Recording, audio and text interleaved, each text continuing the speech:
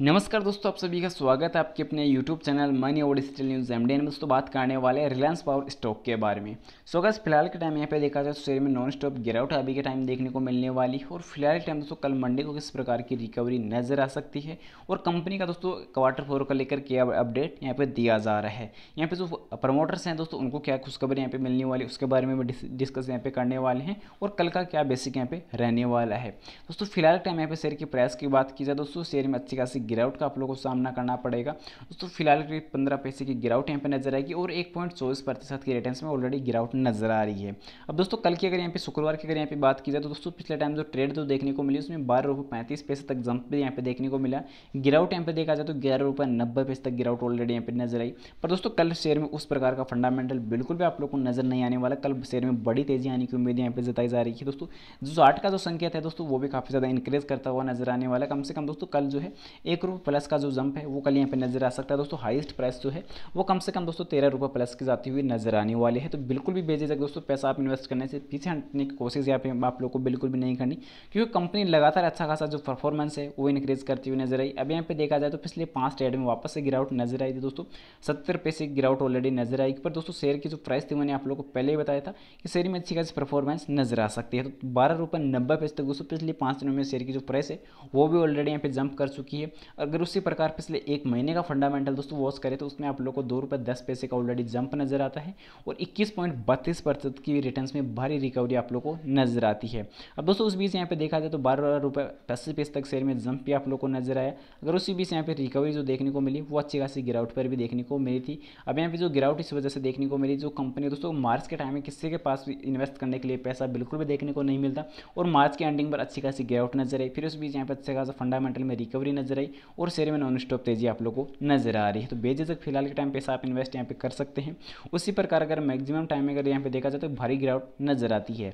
अगर उसी प्रकार पिछले पाँच शेयर में देखा जाए तो उसमें थोड़ी जो गिरावट है वो कम नज़र आएगी। अगर उसके मुकाबले अगर यहाँ मैक्सिमम के बजाय दोस्तों अगर पिछले पाँच शेयर का अगर देखें फंडामेंटल तो उसमें काफ़ी ज़्यादा नेगेटिविटी देखने को कम आती है। अगर उसी प्रकार दोस्तों पिछले वन ईयर की अगर बात की जाए तो उसमें दोस्तों शेयर की जो प्राइस है, उस पर ऑलरेडी दोस्तों दो रुपये साठ पैसे की गिरावट नज़र आ रही है और सत्रह पॉइंट सतासी प्रतिशत के रिटर्न में गिरावट नज़र आती है।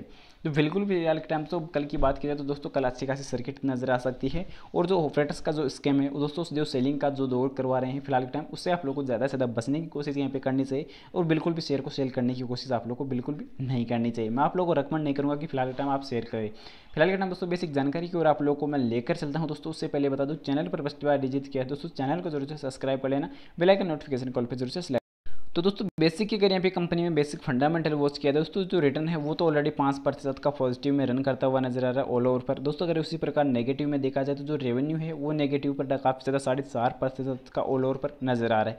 फेस वैल्यू दोस्तों ऑलरेडी यहाँ पे दस रुपये की नज़र आने वाली है और उसी बीच यहाँ पे देखा जाए तो स्टॉक अपनी बुक वैल्यू से ज़ीरो पॉइंट उनचालीस गुना पर कारोबार ऊपर करता हुआ नज़र आने वाला कंपनी जो नेगेटिविटी है वो दोस्तों इसी बीच छुपी हुई है, क्योंकि इसी वजह से कंपनी में अच्छी खासी भारी गिरावट का सामना आप लोगों को करना पड़ा। पर कंपनी धीरे धीरे दोस्तों, कंपनी सेल में भी रिकवरी आती हुई नज़र आ रही है और कंपनी का जो ब्याज अवरेज अनुपात है वो भी यहाँ पे अच्छा खासा नज़र आने और दोस्तों कंपनी जो ऑल ओवर की जो रिकवरी है, वो तो ऑलरेडी अच्छी खासी इंक्रीज होती हुई नज़र आ रही वाली है। उसी भी अगर यहाँ पावर जनरेशन सेक्टर में अगर देखा जाए तो कंपनी आठवें नंबर पर देखने को मिलने वाली है, क्योंकि कंपनी के ऊपर काफ़ी ज़्यादा कर्ज का जो दबाव है, वो यहाँ पे ऑलरेडी सामने नज़र आ रहा है। उसी बीच यहाँ पे देखा जाए क्वार्टर थ्री के सेल्स की अगर बात की जाए क्वार्टर टू की बात की जाए तो क्वार्टर टू और थ्री में दोस्तों कुछ ज़्यादा इंक्रीज देखने को मिला नहीं। उसी प्रकार देखा जाए तो ओनली दोस्तों पंद्रह से बीस करोड़ का जो प्रॉफिट था, वो सेल्स के अंदर ऊपर नीचे देखने को मिला। अब यहाँ पे देखा जाए तो क्वार्टर थ्री की अगर बात की जाए तो क्वार्टर थ्री में कंपनी को कम लॉस यहाँ पे देखने को मिला। क्वार्टर टू में दोस्तों कंपनी को तीन सौ तेरह करोड़ का लॉस यहाँ पे देखने को मिला। तो इस प्रकार कंपनी में काफ़ी ज़्यादा इंक्रीज देखने को मिला। फंडामेंटल उसमें काफ़ी ज़्यादा नेगेटिविटी नज़र आई। वर्तमान टाइम में यहाँ पे देखा जाए तो कंपनी के ऊपर दोस्तों तेरह करोड़ का नेट कर्जा यहाँ पे नज़र आ रहा है। उसी बीच अगर बेसिक फंडामेंटल यहाँ पे देखा जाए तो कंपनी जो प्रॉफिट की जो ग्रोथ है, वो काफ़ी ज़्यादा नेगेटिव वर्तमान टाइम में देखने को मिलने वाली है। अट्ठारह प्रतिशत की नेगेटिविटी नज़र आने वाली है। अगर उसी प्रकार सेल्स में अगर इंप्रूवमेंट की बात की जाए तो दोस्तों मैंने आप लोगों को स्टार्टिंग भर ही बता दिया कि कंपनी जो सेलिंग जो देखने को मिल रही है, उसमें वापस से रिकवरी नज़र आ रही है और उसी प्रकार देखा जाए तो कंपनी लगातार इंप्रूवमेंट करती हुई नज़र आ रही है। तो दोस्तों, जिस प्रकार का फंडामेंटल है, वो तो अच्छा खासा इंक्रीज पर नज़र आ रहा है, पर इक्विटी पर जो रिटर्न है, वो भी कंपनी ने कम दिया और स्टॉक की जो सी जी प्राइस है, वो भी पे कम नज़र आने वाले पर बैलेंस शीट का जो डाटा है, वो कुछ नेगेटिव देखने को मिलेगा और कुछ पॉजिटिव भी। कंपनी जो टोटल असिस्टेट है, वो उनचास हज़ार सात सौ नब्बे करोड़ की नज़र आने वाली है। फ़िलहाल टाइम से आपका क्या बेसिक फंडामेंटल रहने वाला है कमेंट सेक्शन में ज़रूर से बता देना। जानकारी अगर पसंद आई तो वीडियो को लाइक कर देना। दोस्तों, जो भी चैनल पर नए हैं चैनल को ज़रूर से सब्सक्राइब कर देना और जानकारी को ज़्यादा से ज़्यादा शेयर ज़रूर से कर देना। और आपकी नज़र में कोई पेन स्टॉक हो तो उसकी जानकारी कमेंट में पिन कर देना। एनालिसिस करके आपको जल्दी बता दिया जाएगा। तो मिलते हैं नेक्स्ट अमेजिंग वीडियो के साथ। तब तक के लिए जल्दी दीजिए। जय Shri Krishna. Thanks for watching this video जय हिंद। जय भारत। वंदे मातरम।